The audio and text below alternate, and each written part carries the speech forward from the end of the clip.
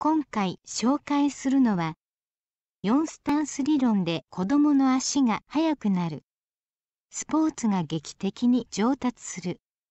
という本です。4タイプを見極めてめきめき上達体の使い方をわかりやすく解説今まで学んだことのない画期的な体育の練習法